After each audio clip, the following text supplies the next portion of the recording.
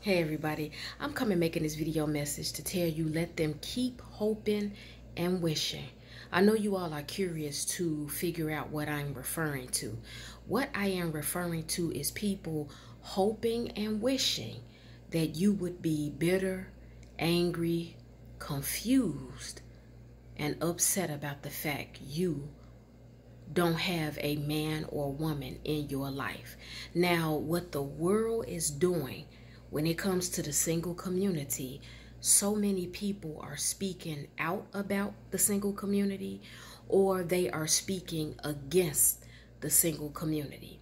There are married men and women who speak on single men and women.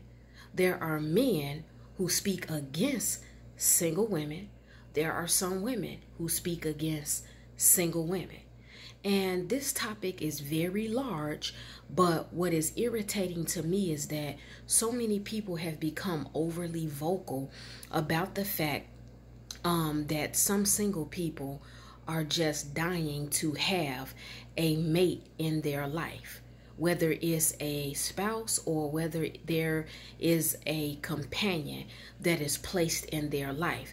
And what I find is that there are certain sing uh, I'm sorry, there are certain seasons of my life where there will there will just be random people that will approach me and they will feel the need to tell me that they want to connect me to someone that they know or they want to hook me up with a co-worker they want to hook me up with one of their male cousins or one of their brothers or one of their guy neighbors or guy friends that they feel I would hit it off with or connect with. And I find it to be very annoying. I find it to be extremely irritating because there's an assumption that single people are not happy being single. I need you all to understand who are single.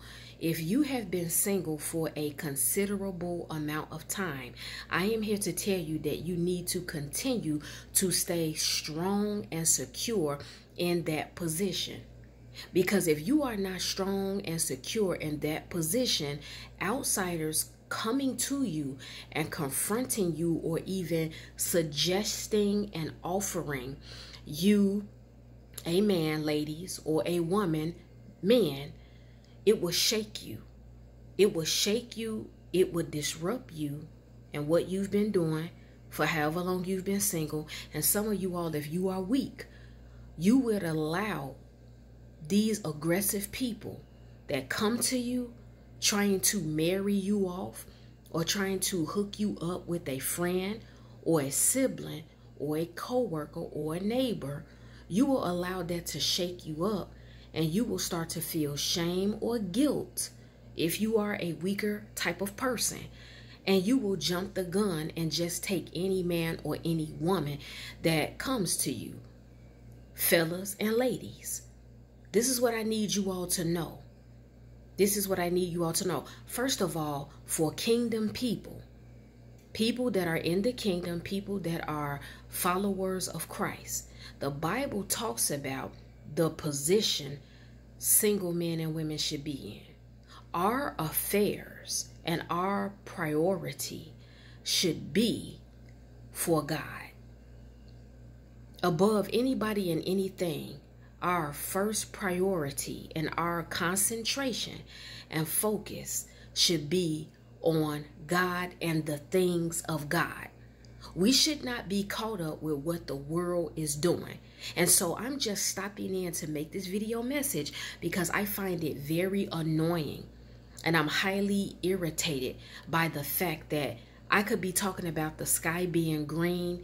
I could be talking about a puppy that I saw flying down the street with wings, and somebody will just randomly come and start talking about a man that they want to hook me up with. And it's not just me. I see other men, I see other women go through the same thing where someone is trying to marry them off or someone is trying to hook them up with someone because they assume that because you are single that you are just sitting back in the cut waiting for a man to come in your life ladies or you're waiting for a woman to come into your life fellas. There are more married people not all married people, but there are a large majority of married people who seem to be obsessed and overly concerned about who single men and women have in their life. And it's crazy to me. People will brag about how they are happy in their relationship. They will brag about how they are happy in their marriage. And they will you know, shame and talk about single men and women. And it's like they don't look at the benefits of what it is being single. When you are married, just for those who don't know, let me just go down a few things, okay? When you are married, you are accountable for your husband.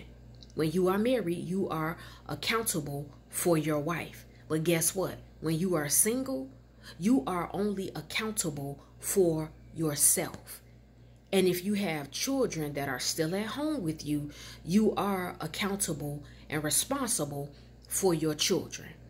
But there are a lot of people who are single and their children are gone. Their children are out the house. Their children live with family members. Their children are doing their own thing as they grow and get up in age. Some single moms, one child is with the father, the other child is with the mom, and vice versa. And so, if you are a single man or woman, you are living life on your own terms. And when people hear you say that, some people they have a negative mind. This is why I don't like talking to and hanging around a lot of people because people don't think. They don't think. They think they have all the answers. They think when they see one thing that that's what it is. They don't know how to dig deeper down the rabbit hole where they'll discover so many other things going on with that particular single man or woman. People don't understand that. And people have a problem and an issue with a single man or woman's confidence. It seems like that is a irritation to a lot of people when they come across a single man or woman and they are confident in it. And I find the people that are always trying to marry you off as a single woman or they're always trying to marry you off as a single man, a lot of these people, they are not secure being single themselves or before they got married or before they got a boyfriend or a girlfriend. They were not secure being a single man or woman and just standing alone. They were not. And most of the people who come to me and they are trying to hook me up with their brother or their uh, male neighbor or their uh, guy best friend, some something like that. They it's it's women who have a guy that is their best friend and they come to me saying that they want to hook me up with him. My thing is with that, um, I really don't want to hurt certain people's feelings, but my thing is I'm looking at the track record and the dating record of a particular man or woman that is trying to hook me up.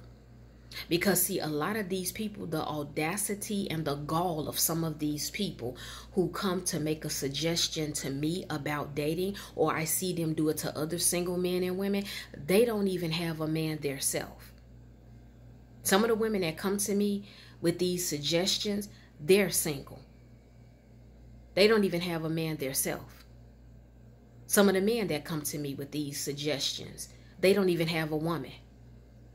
Some of these men and women that come to me making these suggestions, talking about my single life or the single life of other men and women, they have never been married.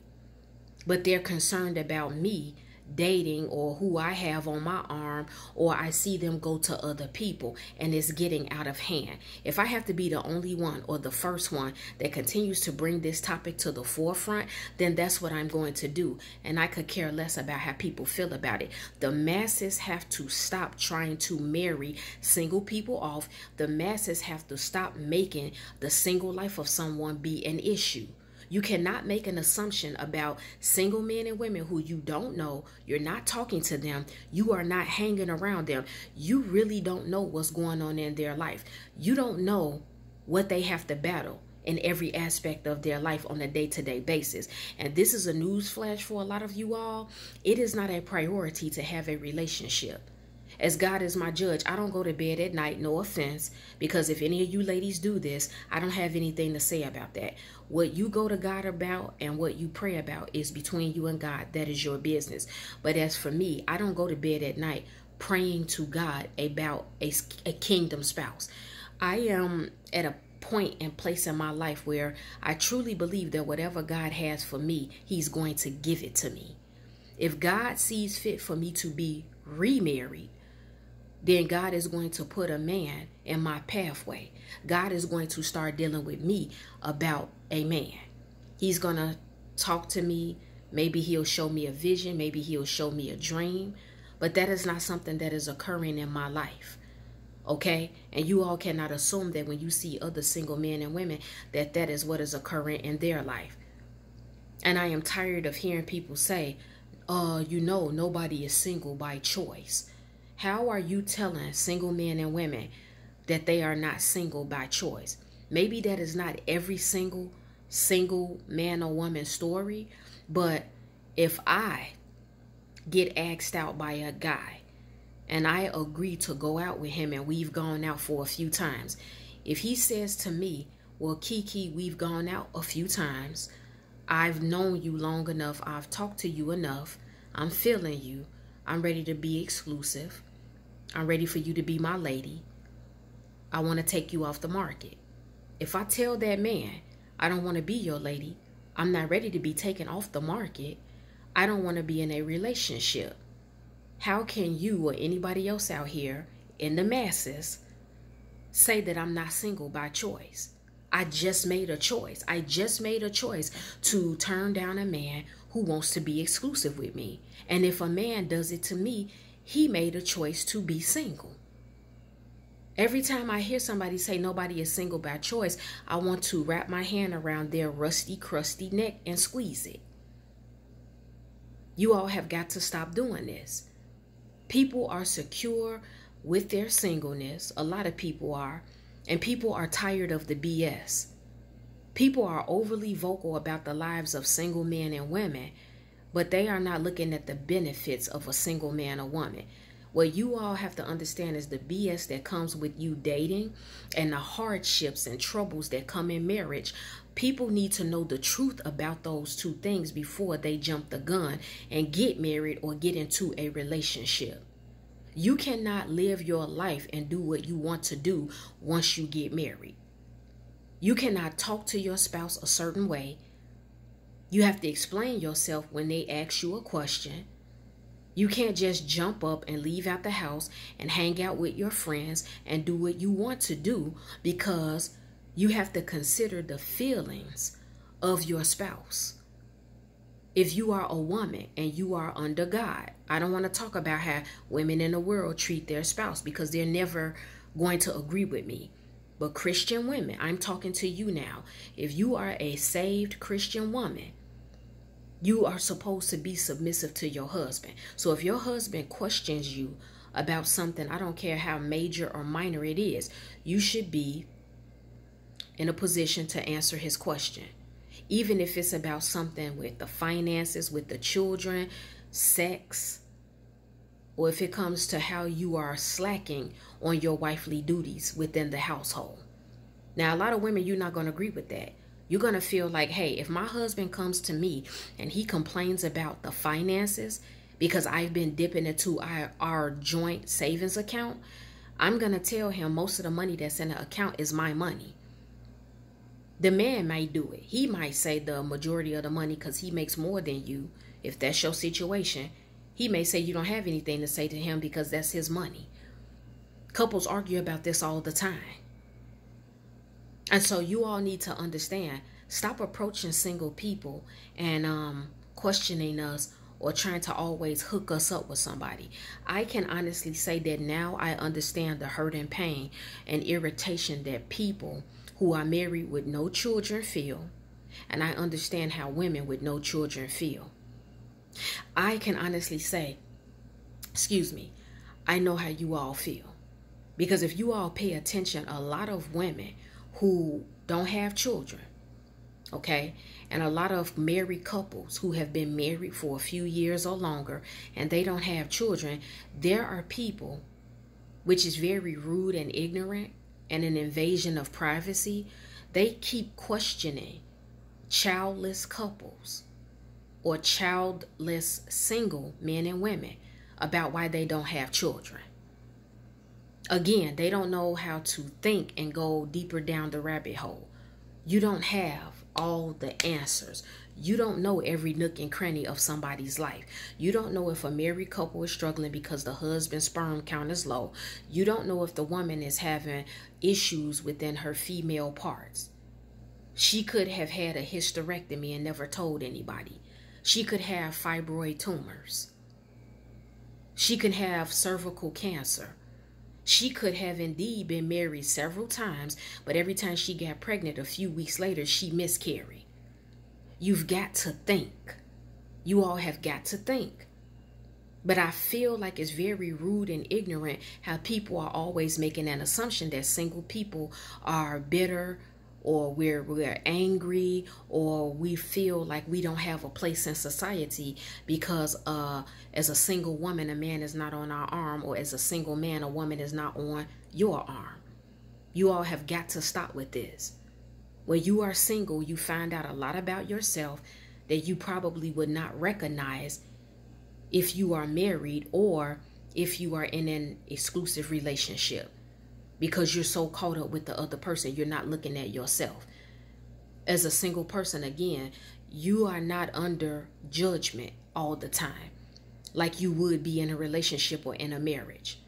There's no way that you can be married, ladies, and lay around for three or four days without cleaning up, without cooking, and you look a mess, and your man is not going to come, your husband, I should say, is not going to come and um confront you about why his house is not clean or why you and the kids keep eating, him and the kids, I'm sorry, keep eating takeout food. You guys got to pay attention to that. And as a married woman, you need to give your husband an explanation as to why the house is not clean and why you have not been cooking. If there's nothing physically wrong with you or mentally wrong, if your husband is questioning you about that out of respect and submission, you need to get on top of your wifely house duties. But as a single woman, you don't have to worry about that. You can leave your house looking the way you want it to look. That's your business. Because again, you are accountable to yourself. You're accountable to God. But if you slack here and there in your house, that's on you. The judgment is not there. When you want to go out as a single woman or as a single man, nobody is questioning you. You don't have to explain yourself. You can stay out for two, three, four, five days, one, two weeks, three months, four months, and nobody's ever gonna question you. That's real talk. But you try to pull that stunt when you married, it's gonna go a little bit different. You might be divorced, or you might come back home after a couple of weeks and the house is empty. real talk. I'm just telling you all this. This stuff needs to be talked about because people are always talking about and coming at single people. They never let you live it down, you being a single man or woman. It's just not the priority.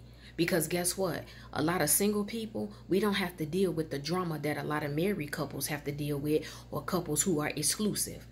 A lot of single people. Now, single people, if they are sexually active and messing around with some people, some of them do have drama in their life. But I'm talking about the saved men and women of God who are under God and you are trying to live right as a single man or woman, we don't have to worry about STDs. We don't have to worry about unwanted pregnancies. We do not have to worry about drama in our life. We don't have to worry about waking up and looking to see if our car windows are busted out or our tires are slashed because we have some baby mama or baby daddy drama.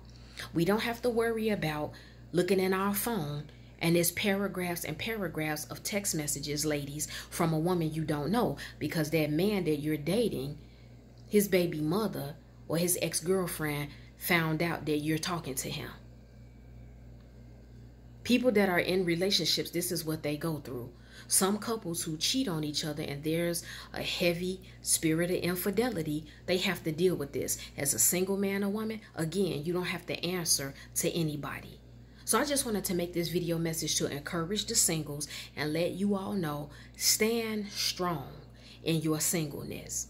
Because if you are not strong being single, if you are not strong and confident in your singleness, outside voices can shake up your confidence and they can put fear in you if you allow it. And you will jump the gun and try to hurry up and force a relationship or get a relationship based off what outside people are saying to you. When you are single, you need to be using your time and your season of singleness to concentrate and focus on God. I'm not knocking anybody that has a kingdom spouse on the way. If God have told you and promised you a husband or a wife, if he has been dealing with you about getting married or getting a husband or a wife, this conversation is not for you.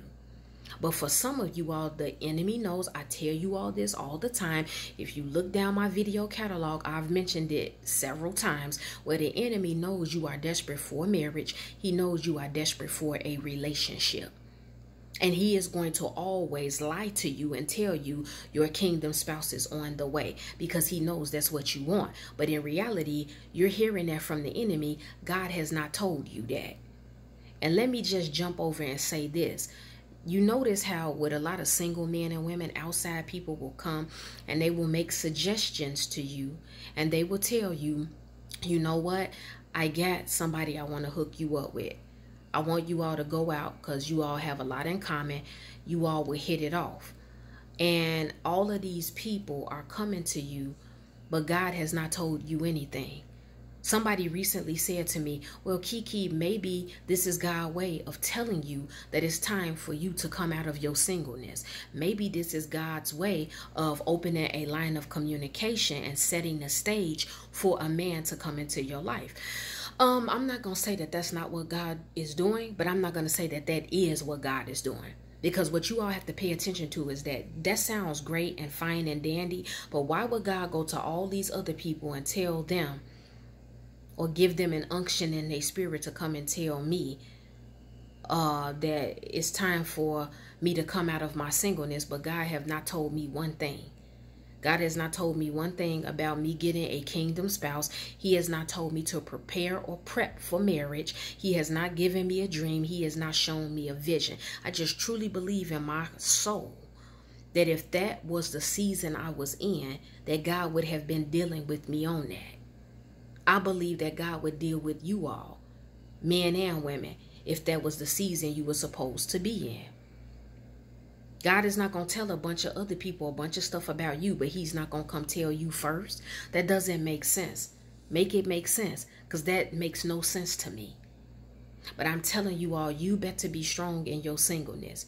Because like I said, I, I notice it's seasons of my life where there are random people, people that I'm not friends with, people that I am not close to, or if they are a family member or, or whatever, I'm not super close to them like that. But they feel entitled and they feel like they have a license to come and tell me what I should be doing about being single.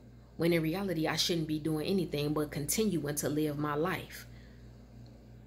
I hate that the world makes an assumption that single men or women are upset about the fact that they are single. A lot of single men or women, they are accustomed to that. They like their single life. They like it. They like not having to explain themselves to other people. They like spending money at their own free will and not having to explain themselves. Some single women, they like wearing their hair a certain type of way and not being judged about it. There are some men, they are very particular about how their woman or wife wears their hair.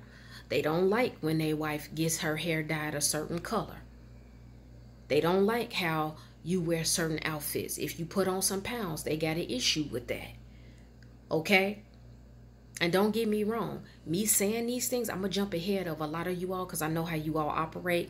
A lot of you all may feel like, oh, she's against being submissive. She just wants to be free and just do what she wants to do. No, no, no, no, no. What I'm saying is that I'm going to fully take advantage of the position I'm in because I am single and I can do that. But after marriage, I know that my life would change. Don't get this twisted. I am not a modern woman. I am a very traditional woman and I am in total agreement with submission because that is what the word the word of God says. And so all I'm saying is that I understand and I know because I've been married before. I wasn't great at marriage, but now with everything I took from that marriage and the failure of that marriage and who I am now, I am totally in sync with being submissive. I'm not going to disrespect my husband. I'm not going to backtalk my husband. If my husband asks me to explain myself or he asks me a question, I'm going to give him an answer respectfully. And I'm telling all the single men and women, you need to prepare yourself for that because there's going to come a time where you do have to answer to a spouse. You don't have the right to go back and forth with them. You have to maintain a certain level of respect. You cannot talk to your husband any type of way again. Uh, you cannot talk to your wife any type of way. You cannot treat them any way you want because God is going to hold you accountable. And if you feel like you wouldn't be a great wife or a great husband, you need to be going to God so God can teach you, train you, lead you, and guide you and show you how to be a husband or a wife. Okay? That's what I want to let you all know. I'm going to go live about this again. Some stuff happened with my other live video from tonight. It, it, it, it just got all broken up and torn up, whatever. Um, um, the enemy was at work with that, but I'm going to go live again. But I'm releasing this video message to help you all and tell you all to stay in a fight if you are single. And if God has promised you a kingdom spouse, you better make sure that your heart and your motive and your agenda is right for why you do want a kingdom spouse and why you do want marriage. That is the video message. Hmm. well, guys, it's time for me to go because I have some other things to do. The Lord willing, I will be back with another video message. If any one of you have been offended, by anything I spoke about in this video message, it's okay. It's all right. I'm not worried about it. I am not concerned because I know you will forgive me in the morning.